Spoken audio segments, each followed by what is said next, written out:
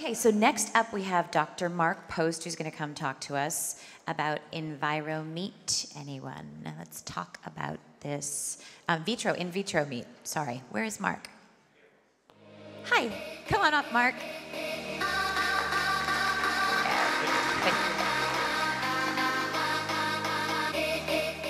So that's a difficult act to follow. Um, the, um, so we have we've heard uh, a number of uh, issues with with innovation, um, also sort of serendipity and and accidents. And I'm actually uh, a medical doctor by training, so I'm the the fourth person in line that's not from the food industry. And maybe there's a story here to tell that uh, the real innovations usually come from the outside and not from inside of the uh, of the industry. But I will come back to that uh, later. So my biggest problem was um, that uh, food security is threatened basically by uh, livestock. 70% um, of all our agricultural uh, uh, uh, produce goes to feeding animals instead of feeding people. Um, and it is because these are inefficient um, uh, creatures to um, serve as food for our, um, for our population. So for every 15 grams of meat, you have to enter 100 grams of vegetable proteins into a cow, for instance. So we run into issues with um, food production because we are keeping uh, livestock production as a source for our beef. And it's actually better explained by uh, the people in this uh, video if it starts working. Do we have sound? Without sound, it's pretty useless. Then we could get right. lots of energy, and that energy enabled us to have brains and become physically, anatomically human. Hunters and gatherers all over the world are very sad if, for a few days at a time, the hunters come back empty-handed. The camp becomes quiet, the dancing stops, and then somebody catches some meat, they bring the prey into the camp, or nowadays into somebody's back garden with a barbecue, everybody gets excited to come and share the meat. It is ritually cut and passed out to people. We are a species designed to love meat. Feeding the world is a complex problem. I think people don't yet realize what an impact meat consumption has on the planet. 18% of our greenhouse gas emissions come from meat production. We're also using something like 1,500 gallons of water to produce just one pound of meat. Meat takes up about 70% of our arable lands. There's no question that if we were able to shift more of our land into intensive fruit and vegetable production, we'd be able to feed a lot more people a lot healthier diet. With the global population growing from 7 billion to 9 billion people, by 2050, the demand for meat will double. We can't just continue doing what we've been doing. Unless we make some changes in how we produce meat on this planet, we're in for a terrible reckoning. Meat consumption was part of the human species. It's been fantastically beneficial for us. And now, by some horrendous irony, it's become part of a system that threatens our species. We have to do something about it. So there are two arguments here. One is that um, we are a species designed to eat meat. Um, that may be uh, contested, uh, but when I look to myself I, and I know all the problems with meat production, I still eat meat. Who of you is vegetarian? So it's about um, 3 5%, which is the average in industrialized countries, and that number hasn't really increased in the last 35 years. So there's something in us that craves for meat, which is you know, okay, but um, since our production system now meets its, um, its boundaries, we have to come up with a, a solution. Uh, and the second is that there is an environmental concern. And that's really huge, that environmental concern, because livestock really is responsible for 20% of our greenhouse gas emission. Um, that's usually uh, methane, mostly methane, and it's um, it differs from, of course, from which livestock you are talking about, but it's, it's a tremendous uh, contribution. So if we can solve that problem, um, we have a good, um, a good opportunity to um, uh, do something good about the planet. So, you know, there is an alternative. We can all become vegetarian. And if you look at this pile, it looks very, very appetizing. Um, and it's very rich in protein. And actually, 20% of the world population is vegetarian, and they thrive and they uh, procreate. Um, so there's not an issue with health um, uh, of a vegetarian diet.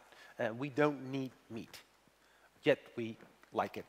So um, uh, it's not likely to happen that um, uh, the whole world becomes a vegetarian, even when we realize that we get sufficient proteins from those sources. And maybe, uh, and it may even be healthier. Those are not arguments. And what's more, the uh, increase in meat consumption is not coming from the industrialized countries, it's coming from the growing middle class in uh, BRIC countries, uh, India, China, uh, and also Russia. Um, strangely enough, not from South America.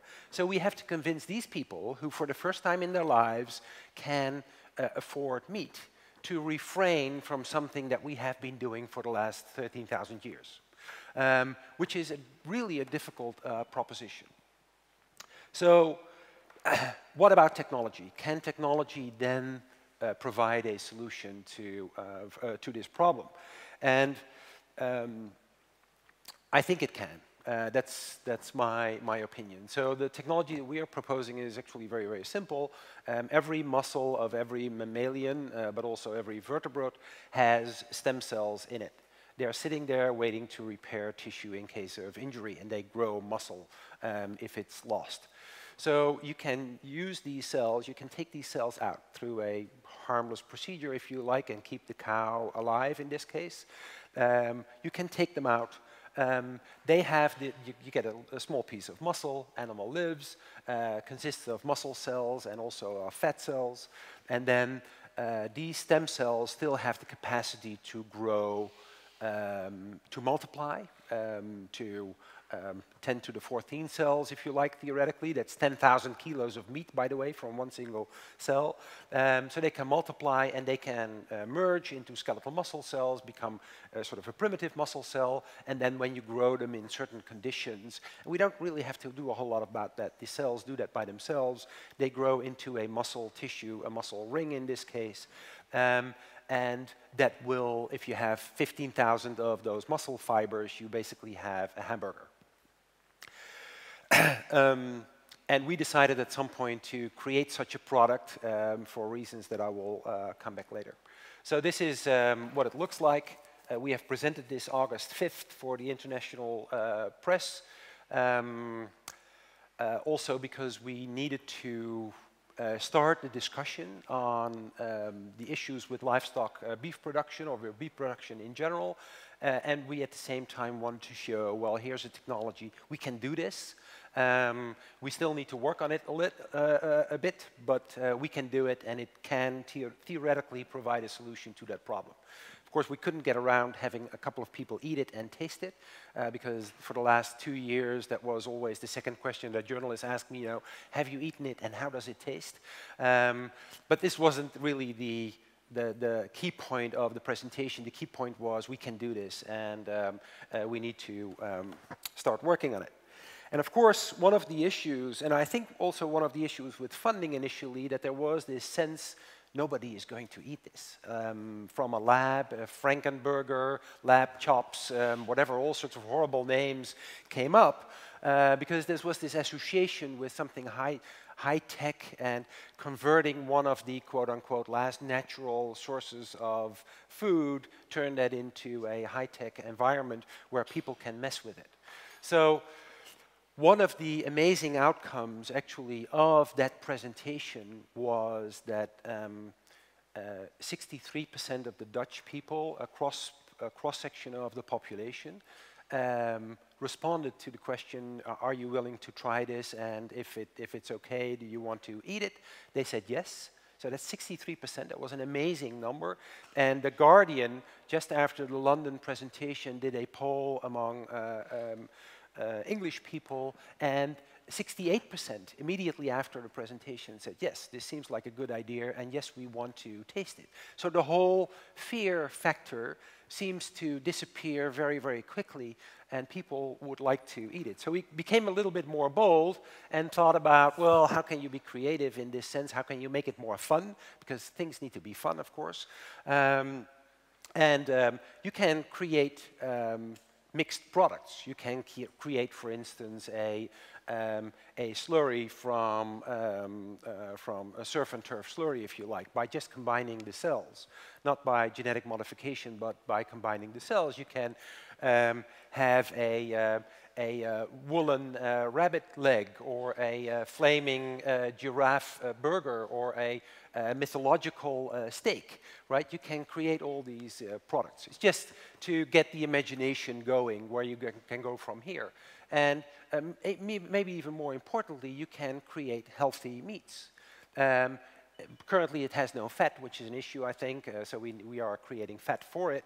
Um, but you can, you can coerce these fat cells, and it, it can be done very easily with feeding the appropriate um, stuff. Uh, you can coerce these fat cells into make making omega-3 and omega-6 fatty acids. Um, so you can make a healthy burger that actually lowers your cholesterol instead of increasing your cholesterol. And maybe by some stroke of luck, as a physician, I can prescribe at some point hamburgers, which would be a conflict of interest. But it's, uh, um, that was not the intention of it. So um, we feel that this is, uh, you know, the technology is not ready yet for uh, marketing. Uh, we still need to do a lot of work. Uh, one of the great I think um, uh, messages with this hamburger that it, that it cost 250,000 euro, which is arguably uh, expensive. Um, and we made three of them, so we burned in a very small period of time 750,000 euro. Um, which will I come back to later. But the, um, the, the, the, point is that that sort of illustrates that it's not a product yet, that we do a, a lot of work. Um, but it can be done. Um, uh, I believe we can eventually make it cost efficient and even more importantly, resource efficient. Um, and then it will solve a huge problem with livestock food production. So uh, the organizers asked me to, um, I'm running out of time, so I'll be very brief about this, but how to, how to realize your ideas, because this was an idea, it was actually an old idea, and my sort of humble contribution was that um, I, I took it into practice. So um, I finally said, well, this is what we should do. We have the medical technologies, we can create this, and let's just do it, and, um, and don't worry about it too much. Um, but of course, you have um, uh, most of the ideas that you come up with, um, and, and you wonder, how am I going to realize this? Well, first you have a brilliant idea. Brilliant ideas are very, very easy to get. Uh, that's not really the problem. You, the, the, problem is how do you convince other people that these are brilliant ideas. Um, one of the best examples of a brilliant idea, I don't know whether you know these, are these bags filled with air um, that um, um take up space in a box if it's shipped instead of all these crumbled little uh, foamy things. Um, and it's a, you know, it's a very simple and brilliant idea. And, uh, you know, I'm, I'm always amazed, you know, how do people come at these ideas and then, and then market it? Because it's, it's absolutely brilliant and it solves a tremendous number of problems. Now, those uh, ideas are apparently difficult to come by because they are so easy. Um, uh, but then, of course, you need to be able to convince other people, and that's where it, um, it gets um, uh, a little bit more difficult. So you have to have guts. And, and, we heard it before, some people change careers. I changed career from sort of a, a highbrow medical um, researcher to a hamburger guy. Um, and it's, it's scary. It's scary to do that, but it's um, something if you believe that this is necessary, then you just go for it. Um, so it's, um, you have the guts to go for funding. Um, the best way of not getting funding is not asking for it. Um, so you just go out there and ask for it, and you talk a lot about your ideas, and you never know how you eventually are going to get it. I got it through the media, basically. Um, at some point, Sergey Brin came to me and said, well, I, I hear you what you're doing. I like the idea. Uh, let's give you some money. Um, and then you also have the guts to spend money, because I really see a lot of people in my environment who eventually get funding and then are sort of afraid, you know, how am I going to uh, do this? And I have this responsibility. And um, and I, have shown you with the 750,000 for three hamburgers that um, I apparently don't lack that type of uh, guts. And you have to have a healthy disregard for the impossible. I love that quote. It's actually from Sergey Brin, as, as far as I know. He probably has it from somebody else. But um, uh, I, I, think that's a key message. Um, because a lot of people told me um, who are in cell culture and uh, tissue culture as, as we are, uh, you know, this is just impossible. This is the, the least efficient technique ever. Uh, it's never going to happen. And now they are changing their minds and say, well, you know, we don't know yet. Um, so you have to have a healthy disregard for the impossible. Um, and finally, you have to realize that people who have money are people. They are humans. So um, if you can, uh, and, and, I tend to think that they, that they think the same way like we do, the only difference is they have the money and you want it. Um, so you can figure out what kind of arguments you need to convince them to give you the money. Because they are basically consumers just like us. They just consume different things.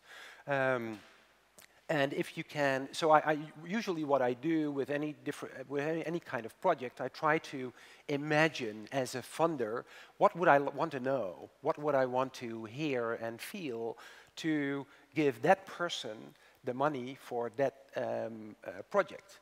And I think it's a very simple rule that I live by, and for the last 25 years, um, uh, I got, um, I, I, guess that was the reason why the organizers asked me. I have somewhere in my CV that I got 30,000 million uh, dollars over the last 20 years for my ideas in medical research, and yesterday I added another three and a half million to it. Um, but that's because I, that's one of the, the very simple rules that I live by. You know, I, I try to imagine um, sitting in the seat of a, a funder with money, what, what do I want to hear from somebody to uh, be able to give them uh, this money? So that's my sort of final uh, message, and I thank you for your attention.